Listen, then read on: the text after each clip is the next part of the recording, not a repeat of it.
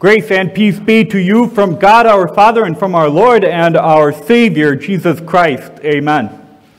The sermon text for us on this Christ the King Sunday is recorded in the book of Jeremiah, chapter 23, verses 2 through 6. In the name of him who loved us to the very end. This is the end. This is the end of another year not a calendar year, but a church year. Did you know that? All along, we have been following the work of Christ. In Advent, he was coming. At Christmas, he came. In Epiphany, he showed himself by word and deed to be the Son of God, to be our Savior. In Lent, we watched as he went out to fight against our greatest and fiercest enemies, to defeat them for us as a king ought to do. We watched as he died for us, as he rose for us, as he ascended back on high for us. We turned our attention as he continued to carry out his work through his church in the season of Pentecost and by the working of his Holy Spirit. And now, here, as we look at end times, the culmination of it all, we recognize Christ as our King through it all. It is the end. It is also the end of a series we have been going through called Welcome Home, as we have looked to some who have been away for a while. And as we turn to them with a smile and with love in our hearts and say, Welcome, welcome home, to the place where Christ is to be found. We come to the last day of that series and we look back on it and we'll continue to welcome people from all over back to the place where we are truly at home. We have done it all with this end, with this goal in mind to see what it is to be a part of the family of God. Not just a family, but also part of His kingdom. We are citizens of the kingdom of our Lord. And what a kingdom that is. And what a king He is a righteous king, unlike any other. We may not usually think of ourselves as members of a monarchy with a king over us. But the truth is, we hold a dual citizenship, one of this world and one of the world above. We are Americans. We don't usually think of having a king. Instead, we have a system that was built from the ground up with three equal branches, with a system of checks and balances.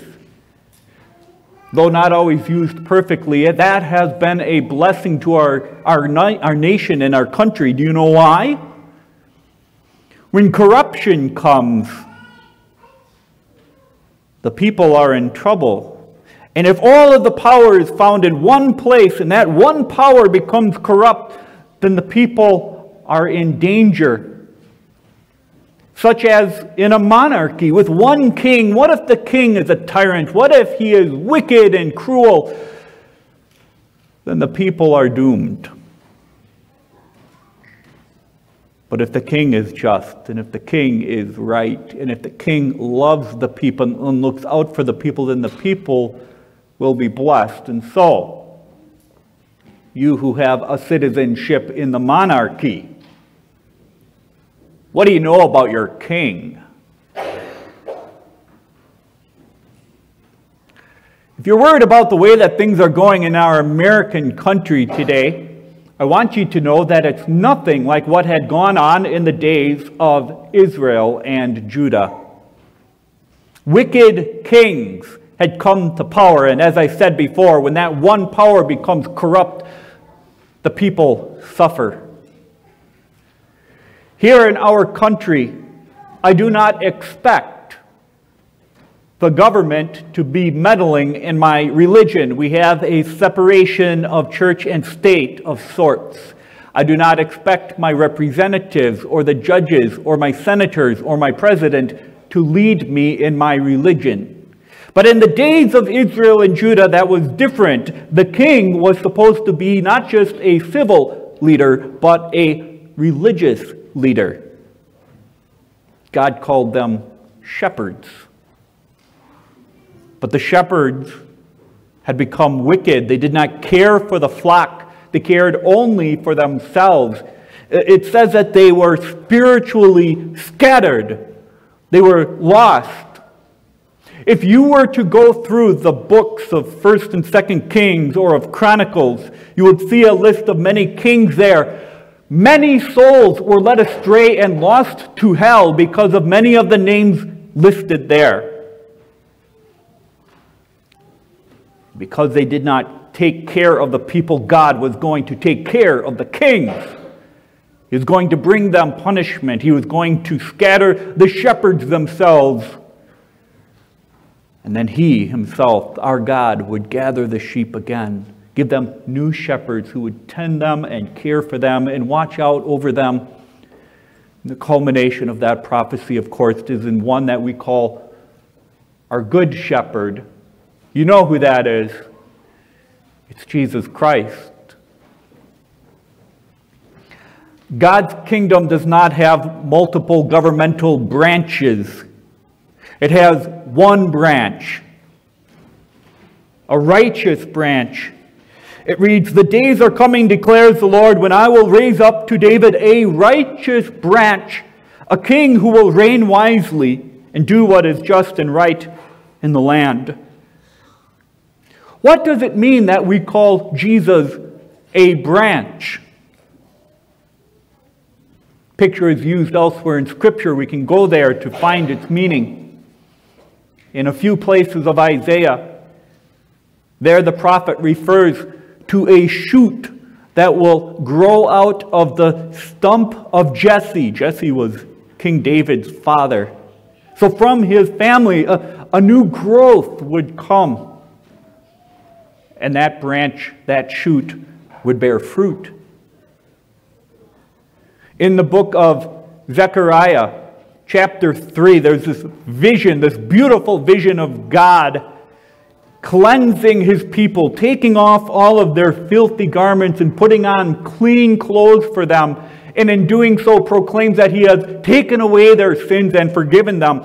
In that context, God says, I am going to send my servant a branch.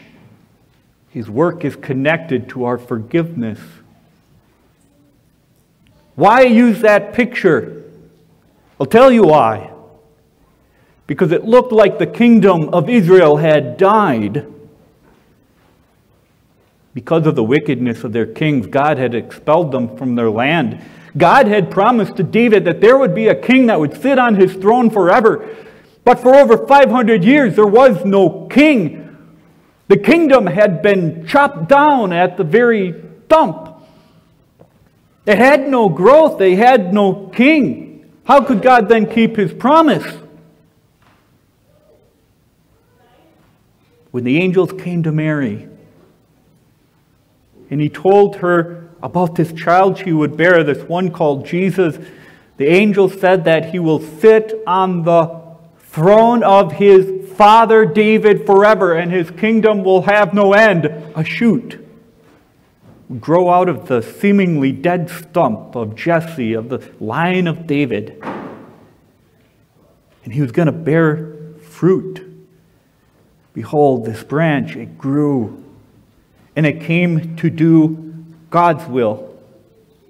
And what do we know about this king? He is righteous, he rules wisely, and he does what is good and just in the land. Do you belong in such a kingdom? Do you deserve to be there?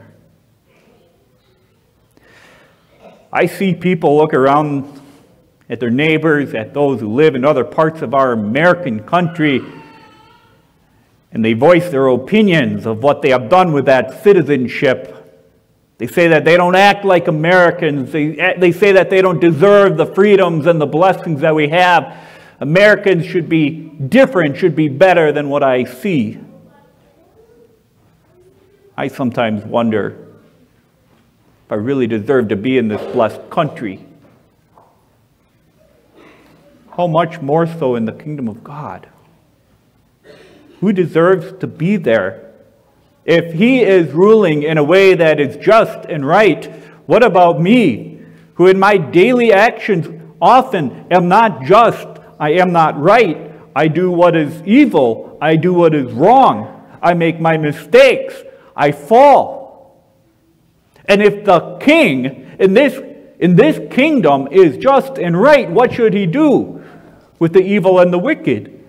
What should he do with the one who does not live up to such a kingdom? As we have been saying to each other for these past weeks, welcome home. There may be a feeling in some hearts that this isn't where I belong, that I'm out of place, that there's something about me that doesn't fit. Have you felt that? Have you experienced that? If this kingdom has a just king, what do I do? Will I be driven out and will I be scattered once more? I want you to listen to your king.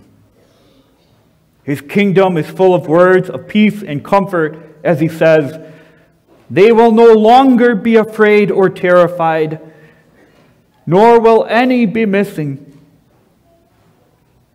Because he tells us that our citizenship and our right to be here is not based on what we do, not on our righteousness, but on His. Let me tell you what kind of king we have. In his days, Judah will be saved, and Israel will live in safety. Saved from what? This is the primary job of the king, you know, to keep his subjects safe. Safe from what? Another exile? Foreign powers? Corruption of our leaders? More than that. He does not just drive away wicked kings, no, he saves us from ourselves. He saves us from our sins. He save us, saves us from our evil and our unrighteousness and our injustice that lives in our own souls. He saves us from a hell that I know that each and every one of us deserves. And He can do it because not only is He from that blessed line of David, a king that comes to sit on this throne from David's family, but His nature shows us even more. He is rightly called the Lord our righteousness. I asked somebody at the door came talk to me about their religion once. Doesn't believe that Jesus is God. I use these words. Do you see what it calls the branch? Do you know who your king is? He is the Lord. He is God Himself, a perfect and mighty King. It is a striking picture, therefore, in what I shared with the children and what we read in the gospel, isn't it? We see Jesus hanging on a cross. And when people talked about him as king, they were not being serious, all except for one. Everything about him they mocked. You say that you are our Savior, then Come down, save yourself, and while you're at it, save us too. You say that God in heaven is your Father and that you are His Son. Well, then call to your Father and see if He answers and treats you like His child. And as the soldiers had dressed him with a purple robe and with a crown of thorns, and they cried out, Hail the King, he did not mean it but tried to barb him in more ways than one. The sign above his head declared him to be the king of the Jews, to which some took issue, in which nobody believed. Kings don't die like common thieves. Sure he didn't look like the Son of God there. He definitely wasn't treated as one who is righteous. But do you know what was happening there? the sins that make us squirm. He took for himself. Your cruelty and your carelessness, he claimed as his own. Everything that should cause us to be cast out of God's kingdom, he drew it all to himself so that the righteous anger of God would be drawn along with it. We sing in some services, Cast me not away from your presence. Well, because of our sin laid on him, he was cast away from the love of his Father there on that horrible hill.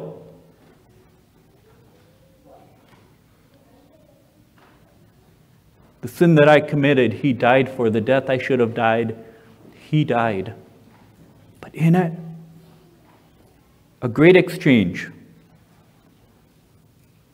His holiness, he who had done nothing wrong, his perfect life, everything that he was, he gave to you. His righteousness.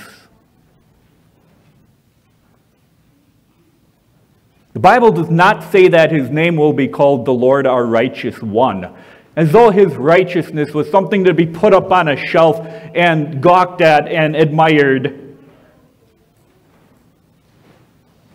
He is the Lord our righteousness. You can say, Christ is my righteousness. He has covered me in it, He has clothed me in it, He has credited me with it. And that's why I am in His kingdom. And that's why I am blessed to be able to remain in it. And if my place here is dependent not on me, then on him, then if he says so, yes, I do belong in his kingdom. And so do you. This is the end. This is the end to all the worry that will never be good enough for Christ's kingdom because he was good enough for us. It is the end to true danger as I place all of my trust in Him. I just want to see Satan and hell try to rip us from His grasp. They cannot have us. It is the end for all that I long for to be transported out of this world with its temporary kingdoms and countries and to be translated into that kingdom that will never end.